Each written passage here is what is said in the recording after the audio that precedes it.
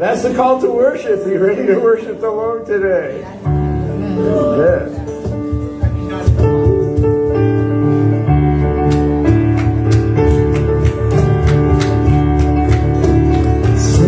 A song of celebration lift up a shout of praise for the bridegroom will come the glory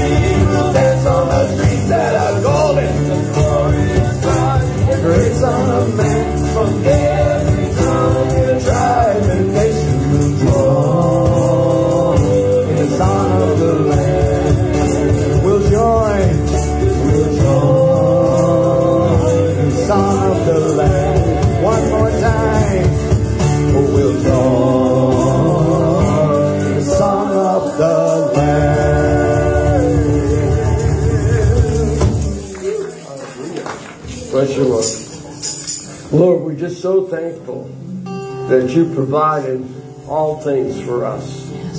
We ask for your Holy Spirit to just fall on us today. And we just look up and we know the time's drawing near when you will appear. Yes. And we're thankful for that as well. Lord, have your way today in this service to the people that have come, to the people that are online. Move in their hearts and in their lives. In Jesus' name. Everybody said, Amen. Amen.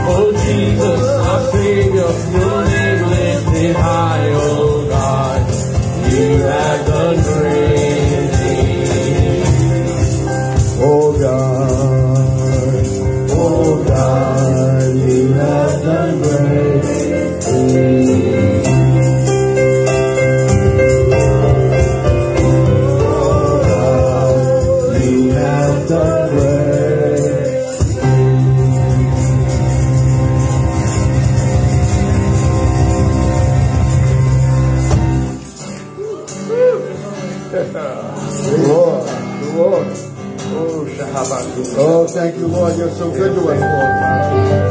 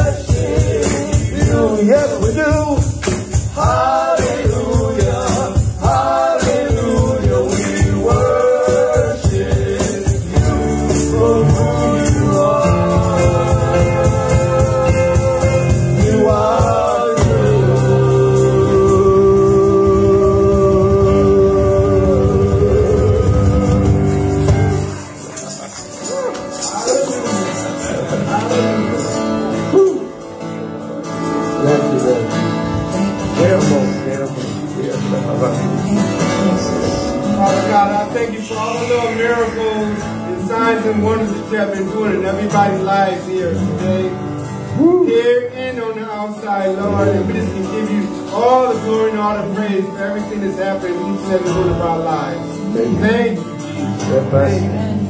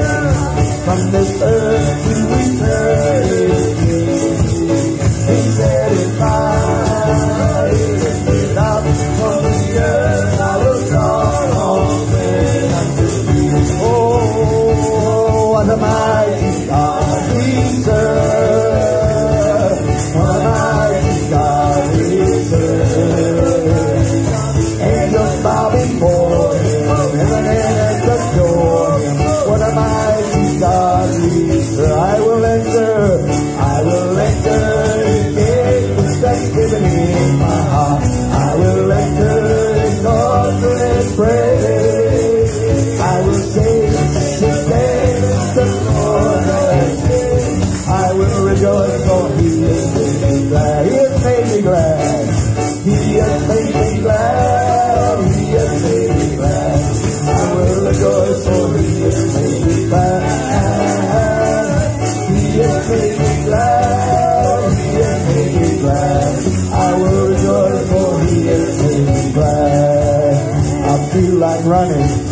thanksgiving.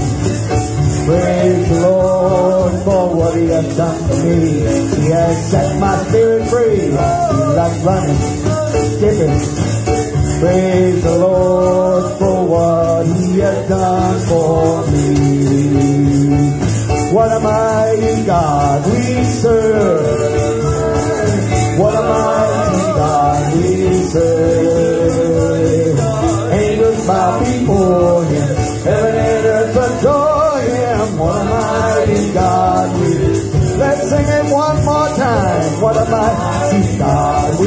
serve. What a mighty God we serve. Angels bow before him, heaven and earth adore him. What a mighty God we serve. Angels bow before.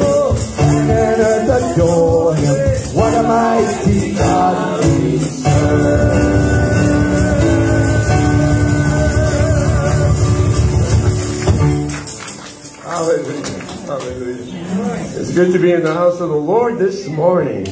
For he is good. And all the time. Amen. Amen. We're going to receive your tithes and offerings this morning. Lord. Ah. I hope you didn't miss me last week. I heard it was fantastic anyway. So the whole week was great. So praise God. Amen.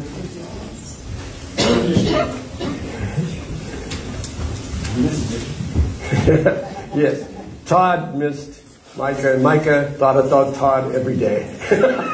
Oh, that's nice. Why you bother me?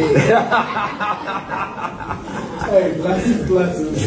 and he also called his dog every day too, and talked to his dog online. You Yes. call the dog to me, call me? oh, my goodness.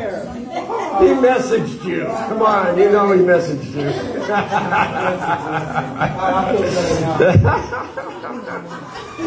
What's some tissue like tissue, yeah.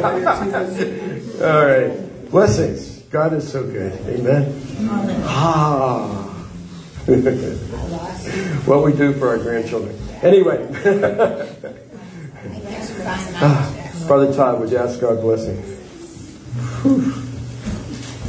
Thank you, Father God, for waking us up this morning. Amen. Thank you for keeping us through the night. Amen. Thank you, Lord. Thank you for every little thing, good and bad, because you're trying to bring something out in us. And we just want to give you all the glory and all the praise, and ask for a, a blessing over this tiding today, and I ask for a blessing over everyone in this church today.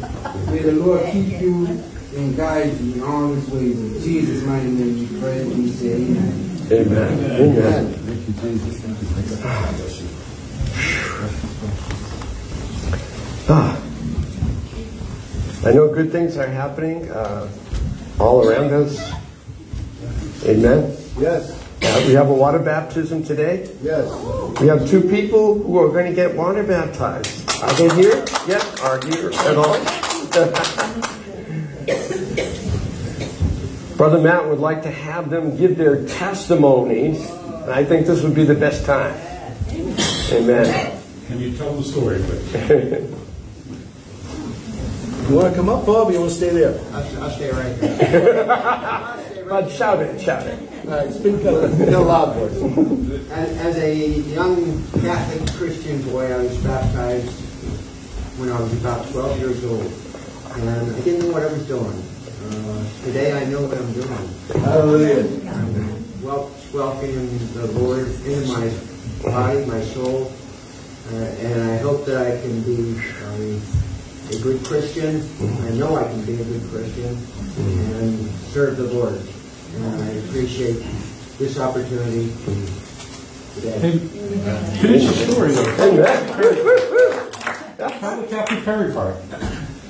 Uh, I was talking to Pastor Matt this morning, and, and I referred back to the Kathy Perry presentation on Africa, and she was talking about the DNA uh, of the Lord, of Jesus, in all of us. And it made so much sense to me, and that's kind of how I started this path. And then talking to my friend John Mello, uh, I told her I was concerned doing this, and she calls me this morning and says, "Why don't you do it today?"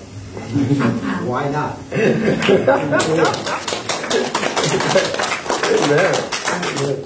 Thank you, Lord. Somebody else. Does somebody else wish to get water baptized today? Okay. We'll start with one and we'll see what happens downstairs. Okay, okay, thank you. God. Amen, amen. Whew. So, uh, tomorrow evening starts Passover, and rather than do Passover Seder this year, which I couldn't possibly get together because we had so much going on already, um, I decided to do the four cups of Passover today and tell you how important they were to Jesus and the disciples. Did you hear that? and how important they are to us because each one represents something different that Jesus did for us.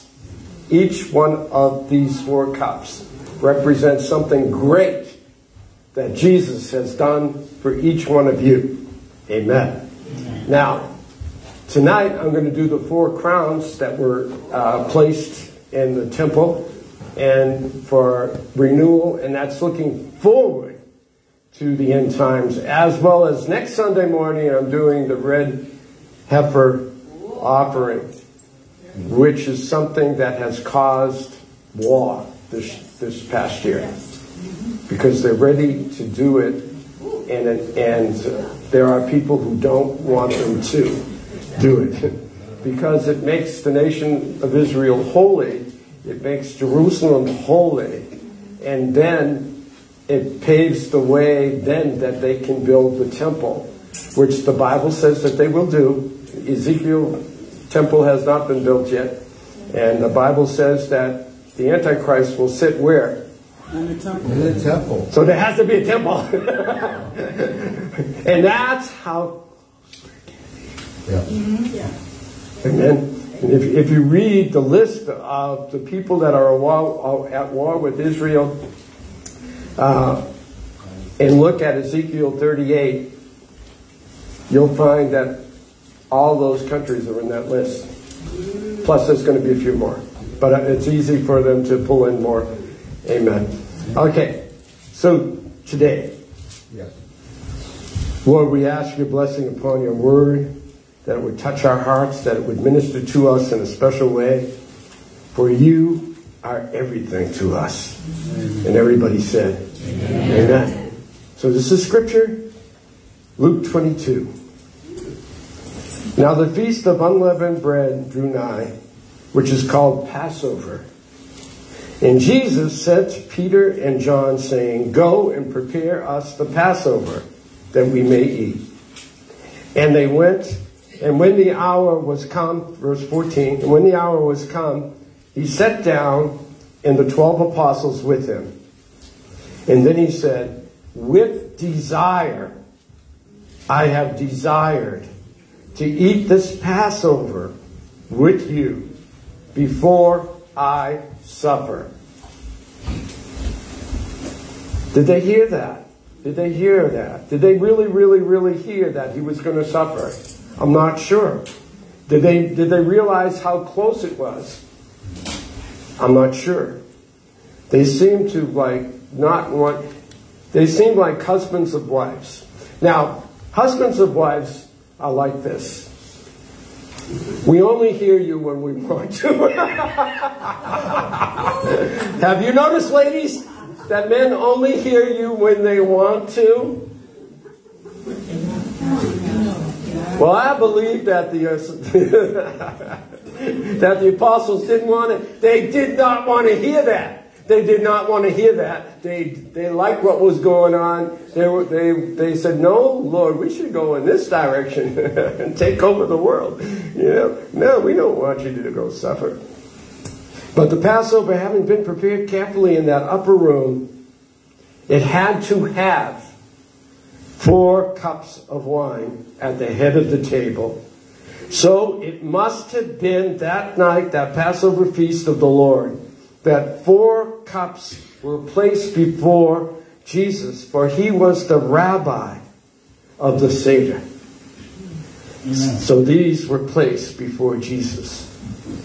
Now, to the Jews, these four cups represent something very similar to what they mean to us. But we're going to get both meanings this, this morning. Praise God. Amen. So you're going to learn the first for, for the Jews. Okay.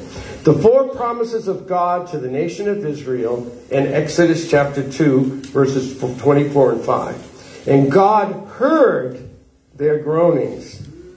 And God remembered his covenant with Abraham and Isaac and Jacob.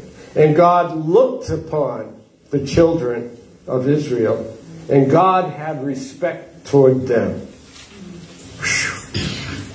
Therefore, God said, I am the Lord. I will bring you out from under the burdens of the Egyptians. I will bring you out. In other words, I will separate you from them. The Egyptians were a type and a symbol of the simple pagan world. And there's certainly a sinful pagan world out there, even today, that we need to be brought out from, that we need to be separated from. Amen? So, with this first promise, we came, uh, became the, the cup of separation unto God. And to us, it means the cup of sanctification. For God has called you, and God has called me. Amen. He's called Peter and Andrew. He called James and John. He called Philip and Nathaniel. He called Mark and Beth. He called Matt and Kathy. He called Paul and Susan. He called all of us. He's called us out to be a separate people, to be a peculiar people unto Him. And He said, Take my yoke upon you and learn of me, for I am meek and lowly in heart, and you shall find rest for your soul. Now, I don't know about you, but before I knew Jesus, I had a restless soul. I felt like everything was meaningless, the whole world was dark. Uh, uh, you know, what's the sense? What's the sense? And then God called me, pulled me out. He pulled me out, separated me, and said, Let me talk to you. Amen. Amen. And that was the first cup. Should I have that? I think I should take a sip from it. Amen. This is the cup of sanctification. It's for you, it's for me. He sipped, he passed it to all the disciples, and each one of them took and participated of it. Amen. Praise you, Jesus. Hallelujah. Amen. And then he went on to the second cup. Now, the second cup comes after all the plagues are, are told about that Jesus, not, I'm going to say Jesus, is that okay if I say Jesus? That Jesus brought them through. Amen? One plague after another plague, after another plague, after another. Do you feel like that sometimes? Do you feel like God is always pulling you out of something and out of something and out of something and out of something? Amen? And, and he pulled them through. And, and so at the end, after they go through all the plagues that the Lord had delivered them through, they sing the song Dayenu. And Dayenu means if, if it wasn't for, you know, if it, if it was just this that you did, I'd be thankful. If it, and it goes through a whole long list. If it wasn't just, if you had, had just to save me, I'd be thankful. If, if, he, if you had given me just the fruit of the Holy Spirit, I would be thankful. But then you gave me the, the, the gifts of the Holy Spirit. And I'm thankful. And it goes on and on and on and on and on. And you could sing Dayenu all night long if you really wanted to. And after all the list was done, the second cup was brought up. For the Lord said, I will rescue them from their bondage. I will rescue them from the bondage of this world. I will rescue them from the slavery of sin. And God is saying to his people, I will take you out and separate you from the world. And then I will begin to untangle the world from you. I will begin to set you free from the deceitful web of thoughts and emotions that the world has put in you to keep you in bondage and slavery. And I will release you from slavery and set you free. Hallelujah. And at the beginning of his ministry, Jesus stood up in the, in the synagogue and he read, The Spirit of the Lord is upon me. Because he has anointed me to preach the gospel to the poor. He has sent me to heal the brokenhearted, to preach deliverance to the captives, and the recovering of sight to the blind, and to set at liberty those that are bruised and he said, This day is that scripture fulfilled in your ears. For the Lord is our second cup, The Lord is the cup of rescue. The Lord is the cup of deliverance. The Lord is all we need to be set free. And he drank it. And he passed it to his disciples. Now, these two cups are separated from those. Just so happens that I couldn't put them all together anyway. but isn't that cool? Uh, because the first two are before the Passover meal. Then comes the Passover meal, in which the lamb had to be spotless, it had to be without any blemish, it had to be killed, it had to all be eaten that night. Amen. And once the lamb was slain and the blood was applied, did you hear me? And the blood they had if they didn't apply that blood, they were they were dead. That's where they were. Okay, so they had to apply the blood. We need to apply the blood of Jesus to our heart, to our soul, to our spirit. Amen. And so after the Passover was eaten, Jesus reminded them that Exodus 6 6 says, I will redeem you with an outstretched arm. Amen. Ooh, ooh, ooh. Isaiah 59 16. And God saw that there was no man and wondered that there was no intercessor. Therefore, his arm brought him salvation.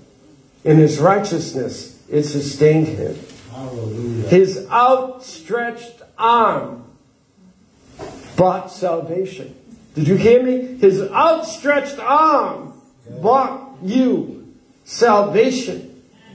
And this is the point where he turns to his disciples and he says, And this is the new covenant written in my blood. I will be poured out for you. He says to his disciples, drink all of it. He doesn't say, just have a sip. This is this time he doesn't say just have a sip. He, he says, make sure you drink all of it. You know, some people they dip their toe into salvation. Or they dip their mouth into salvation, just say, I believe. But they didn't get it. They didn't drink it all. They, you know, uh, it was like the seed that fell uh, by the wayside where there was rocks and, and all kinds of things that were encumbering it, and the birds just came and picked it up and flew away.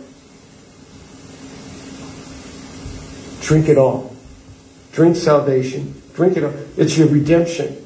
Drink it all. Drink it all. Drink it always. Drink it every day. Amen. Make sure it's, it's a forever thing for you. Make sure that it gets way down deep inside. That you know, that you know, that you know, that you know that you are saved. For he did this for you. For this is the cup of redemption for your souls. I say unto you, I will not drink henceforth of this fruit of the vine until I drink it new with you in my Father's kingdom. How would he want to go through? Why would he want to go through all that suffering on the cross for us? And how did he do it? But it says back in Isaiah 46 that his righteousness sustained him throughout. In other words, he knew what was beyond the suffering. He could see the joy beyond the cross of each one of us standing before him in the heavenlies.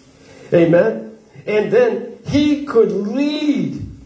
He could lead captivity captive because there was no sin in him, no grave could keep his body down. Yes. And he led captivity captive, but that was not all he did. But first, thank you, Lord, for redeeming us. And he drank He passed it and said, Drink all. Amen. He led captivity captive. What does Ephesians 4 8 say? And he gave good gifts to men. he didn't leave it there. Dayenu, right? He could have left it there. That was enough. Redemption's enough. That's enough. But no, he gave gifts to men. Amen. So that brings us to the last cup. I like this cup. I like this cup a lot. All right. Now, to the Jews, this is the cup of respect. Because God had respect to them. Now, if you look at what's happening in the world today and you see what the Jewish people are going through, uh, but it happens all the time. You know, whether whether it was doesn't matter what what century. Really, my family was always running. You know, we had to run out of Spain during the Inquisition, and then the Inquisition was brought to Portugal. So then we had to run to the Azores, and then from you know, uh, and then uh, the fascists took over Portugal be, and during the World War II, and my grand my great grandfather had to put his 11 kids on a boat and just leave. He was captain of a ship. Leave the ship, leave his farm. Actually, we, uh, we still owned it until about 10 years ago. and now I'm going, you know, I wasn't old enough to be in charge. It was somebody else in the family who was still in charge. Whoever was the eldest of all of the whole family uh, went back to the Azores and they sold the farm. they sold the ranch. I want that branch back. No. Anyway. ah. Anyway. He came here. And he thought this was the land of the free, the home of the brave. Jews really here have not had to worry much about anything, except, you know, the odd, you know, shot at them from here and there. But, uh, you know, but God had respect to what they went through. He respects what they went through. Now, if you read Romans chapter 11, would you do that for me this week? You will find out that Paul was really worried about the Romans because he really knew that the Romans, what the Romans thought about themselves. What did the Romans think about themselves? They thought that they were the that they were the best people on earth. Yeah. They had conquered the whole of what they thought was almost the whole world. Amen. Yeah. And and they had citizen. You could become a citizen of Rome. Even Paul himself used that card. You know, I'm a citizen of Rome. You can't do this to me. You know. Oh, but they did anyway. Anyway. Uh,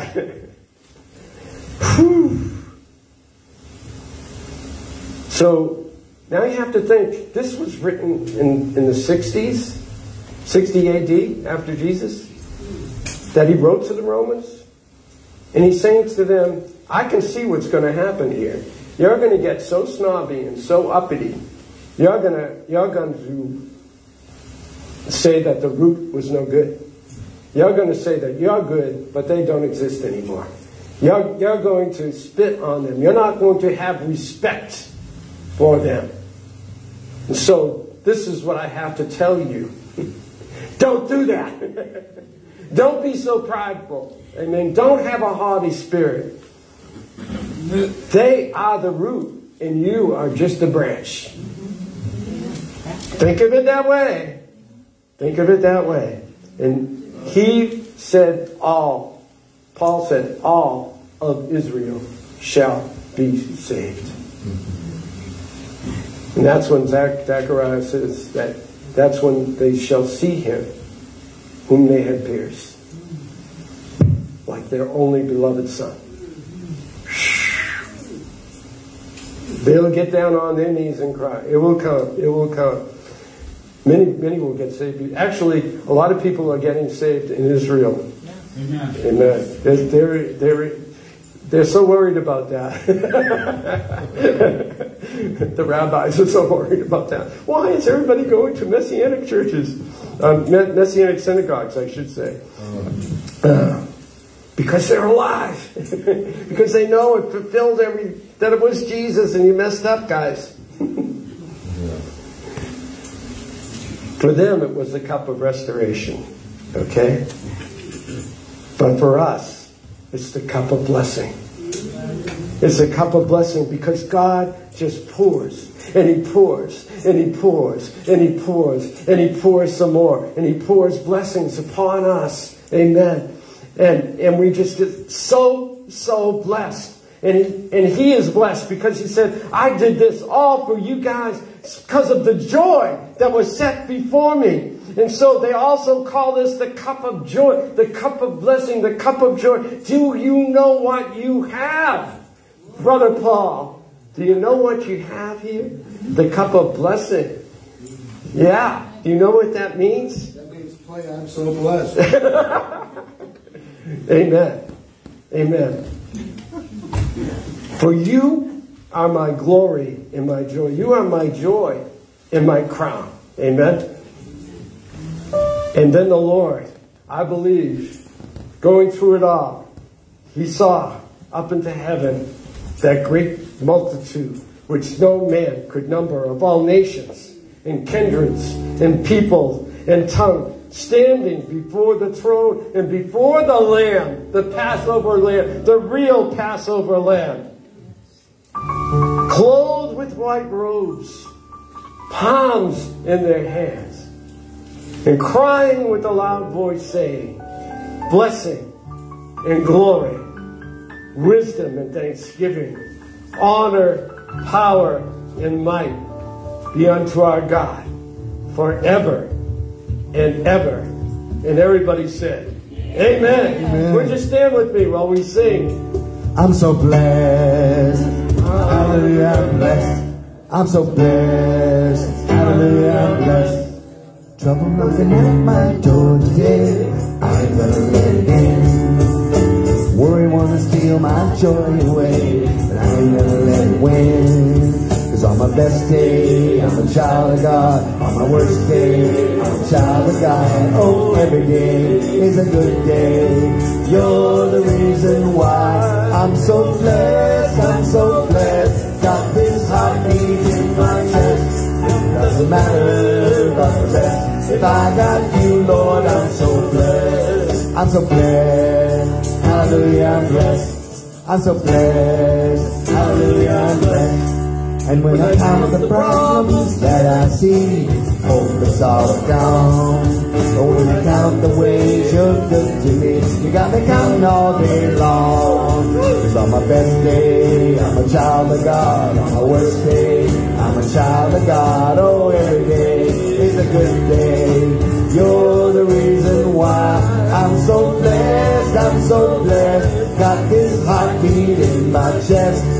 It doesn't matter about the rest. If I got you, Lord, I'm so blessed. Cause on my best day, I'm a child of God. On my worst day, I'm a child of God. Oh, every day is a good day. You're the reason why I'm so blessed. I'm so blessed. Got this heartbeat in my chest. It doesn't matter about the rest. If I got you, Lord, I'm so blessed. I'm so blessed.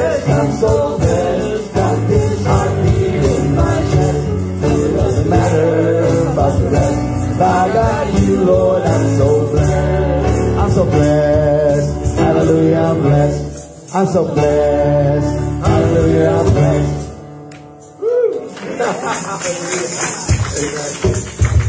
uh, singing this song when on the way home we had to go into Newark Airport. Anybody ever go into Newark Airport? It's, yes. It, you know, of course, they drop you off in C and they tell you you got to go to A, and the tram the tram isn't working because they're redoing the whole thing and there's construction everywhere. And you have one hour to get to your next flight from here over here to over there, and you have to get on the right bus. and there are a lot of buses, and uh, and then So we, we finally we finally get there, and and and then we're going up the escalator to get to our gate, and I had to do two bags because you know Loreline couldn't carry hers, and so I had one bag on top of the other bag, and I'm, and I got it on the escalator when the top bag falls off and goes down the escalator. So then I had to turn, go down, and, and grab that bag, and I'm trying to get back up to the other bag. I twisted my back, and I hurt myself, and I got up to the top with both bags, and I said, I'm so blessed. Oh, yeah, amen. We got right. We got to the gate, and then and and we're just standing there. You thinking because all these other people are standing there, and and the the guy behind the desk says, "Are you going to Boston?" I said, When? How could they tell? I don't, something I said to my wife. I said, "Yeah." Well, then get on the plane. all these other people are waiting for the next one. Oh boy. Oh boy. So we got on the plane. Good. Amen. We made it home. And now, um, All now- together. all together, and it will really take a lot to get me to go anywhere ever again. it's so hard. It's so hard. The older you get, the harder it is to travel. It really is. It really is. Gets gets that way. Amen. I, and doesn't home feel good with that bed that you're used When you come back, yeah. Yeah. Oh, it's so good. And it's so good to be back with you too. Amen. Lord, we thank you for what you've done in our lives. So many, many different ways you've blessed us. Lord, we could make a list. We could go on forever. We could sing Di- Dayenu all night long. Because you're so good to us. We could list all those blessings. And it would go on and on and on. We know that the enemy's at work. We know it's the end times. We can see all the warning signs around us. But even so, we know we're blessed because you're going to be calling us home soon. We're going to be in that crowd. We're going to be in that millions and billions of people, it said, which no man could number, of every nation, tribe. And uh, I got to sit next to uh, a, uh, an Egyptian uh, young man on the way home on the plane. And uh, he goes to a Coptic church. The Coptic church was started in, in around 100 AD. and they still have the same uh, order of worship in the church, the same things. And they're very more, more, do you know the Essenes? Uh, the Essenes were uh, Joseph of Arimathea. He was an Essene. Uh, a lot of the people uh, that were around Jesus were Essenes, but they, they're, they're more into fasting and praying and, and, and uh, giving up themselves, doing good, making sure that they do good works, etc. It's, it's like, it's considered to be part of their salvation, works, you know. We, we separate the two you know, we separate the two and say, yes, we are saved. But then we say, but without works you're dead. so we get you later. Amen. But um, Lord, we thank, we're so thankful for, for people who still believe. And, and we know that Egypt was the first nation outside of Israel that became a Christian nation. Israel had over 100, 150,000 Christians. But as a nation, maybe Egypt was the first nation that the total nation became Christian. That's amazing, isn't it? Because you don't think that way anymore. But Muhammad didn't come until 600 years after Christ. Right. So it was a long time. So all those people who lived during that time, they're in heaven. And they're already worshiping God. Amen. People from Egypt, people from Syria, people from all these countries that you don't think that there are going to be any Christians in heaven. Oh, you are wrong. Yeah. It says every, doesn't it? Did I just read that? Every tongue, tribe, nation. God's going to get at least one. make sure he, make sure His word is right. Amen. So, Lord, if there's anybody here this morning that you haven't given your heart to the Lord, the hundred percent, all, the all. The altar's open for you to come and, and ask for God to take you all. Deep down, deep, deep, deep down. No reservations, just reservations in heaven. Amen. Bless the Lord.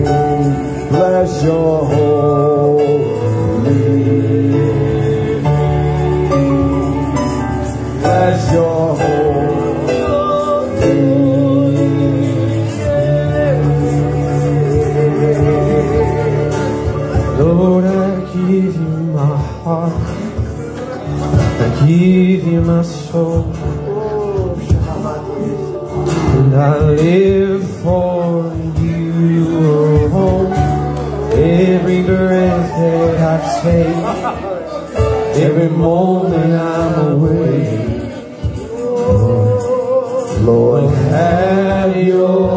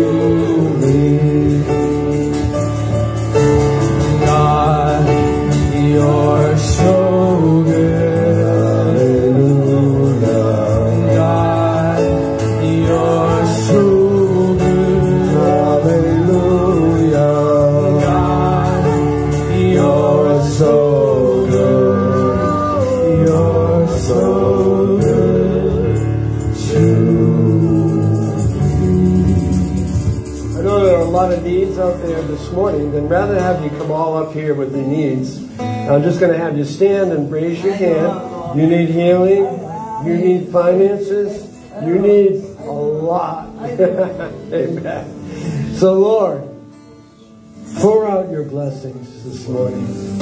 Have respect to your people, Lord God. We've been through, you know what we go through in this world.